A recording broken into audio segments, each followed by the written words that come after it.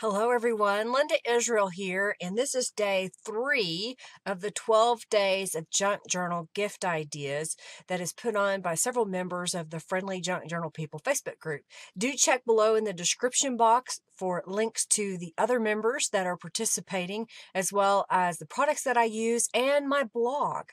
Today, the idea is we are to make an envelope and then decorate that envelope to hopefully inspire you, get ideas of something that you could put together as a gift for maybe a friend, or maybe you just want to go ahead and put this together, put a note in it, and give it as a gift that way. So to start with, I have a oversized book page, or what I call a family Bible book page.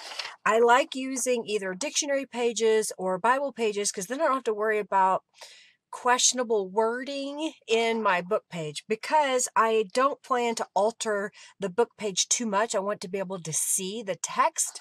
So right off the bat, what I'm going to do is trim off the white areas of this piece of paper. So I'm just going to use my paper cutter and trim this down so that there's not any white areas or non-text areas. All right, so now I have this piece of paper that I want to use to make my envelope. And what I did was I found that if I just slightly crease it in the center and then use that as a guide to fold when it's lengthways the sides in just a smidge over past that crease and then come back this way. Then I end up with about a four and a half inch wide base okay? I want to make sure it's somewhat straight Then on the bottom, I'll fold up, oh, about a half an inch, maybe. It could be less, could be more. And then this is going to be my top area, so I'll fold it down almost or right about an inch on the top. So I've made this folded piece. The next thing that I like to do, just so that it's easier, is to go ahead and add some distress inks to the edge so I know where the start and stop is, if you will. So I've kind of done a few of the areas, like right here where this fold comes together. I have a fold that goes this way across the bottom, so I'm just going to fold it back.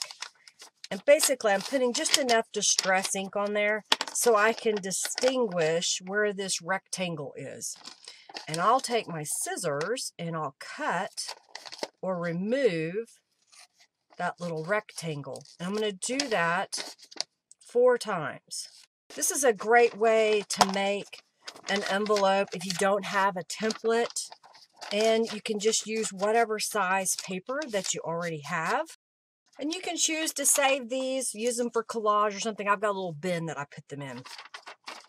All right, so I'm looking at this again, and I'm going to go ahead and add a little bit of distress ink to my flap on the inside.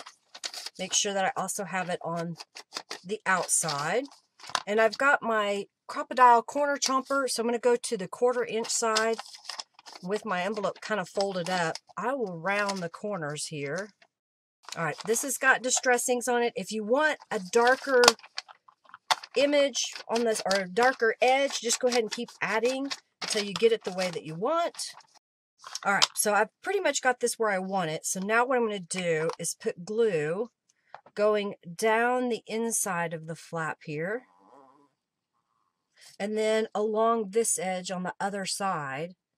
That way I don't put too much and I don't end up closing my envelope down the middle. And I found that if I let this dry for a moment, it's better if you hold it open or set it somewhere so that doesn't accidentally glue shut because I've done that a few times. Once this is dry, I've got a little, I think this is a half inch round punch. If you've got a bigger punch, you can use that. Just know that depending on the size of your envelope, you may not be able to get the punch in there. This one happens to fit. So I'm just going to come down just a little bit and punch a half circle out so I've got this little half circle right there. I'll go ahead and apply some distress inks on that little circle. I'll go ahead and glue this shut by adding a little bit of glue across the bottom. And I will leave the top the way it is. And this is the front of my envelope. So here's the back and here is the front. So I want to stamp on the front. Just getting a little scrap of paper here. I've got the Dandelions rubber stamp from B Line Designs. And I have Jet Black Archival ink from Ranger Ink. And I'm inking that up and I'm going to stamp it, oh, somewhat over here to the left side.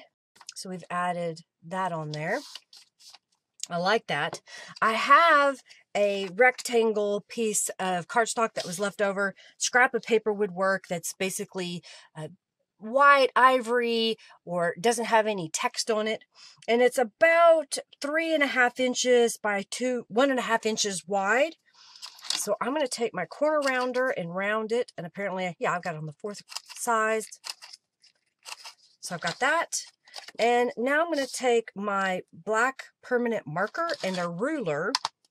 This is my fast way of making a label.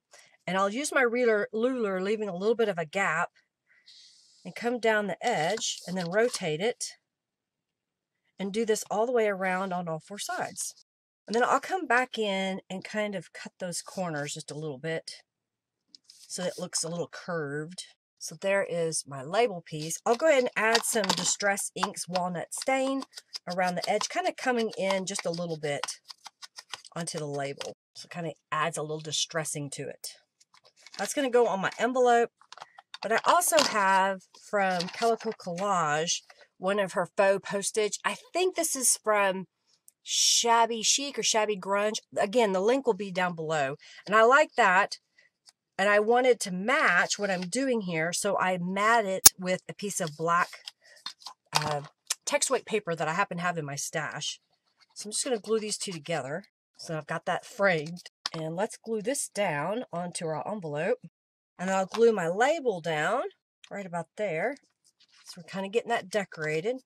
I have from the Postal Cube, it looks like a cancellation stamp. So I'm going to ink that up with the black archival ink and just kind of do it across the faux postage and the envelope.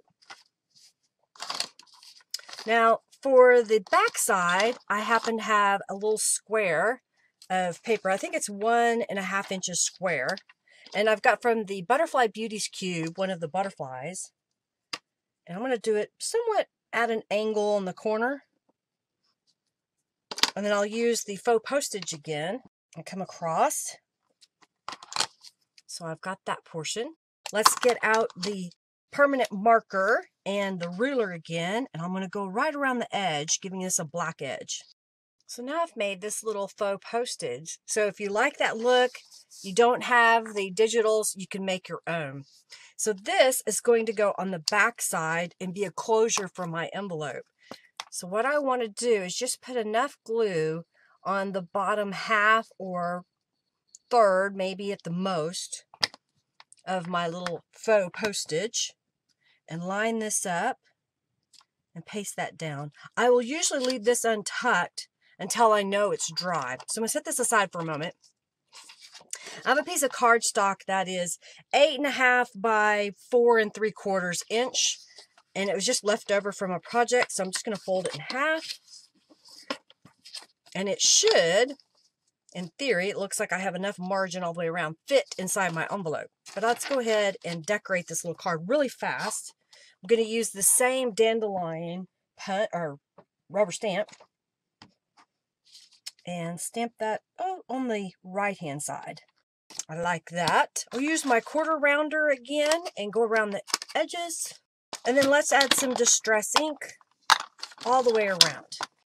So there is my journal card that will fit down inside my handmade envelope.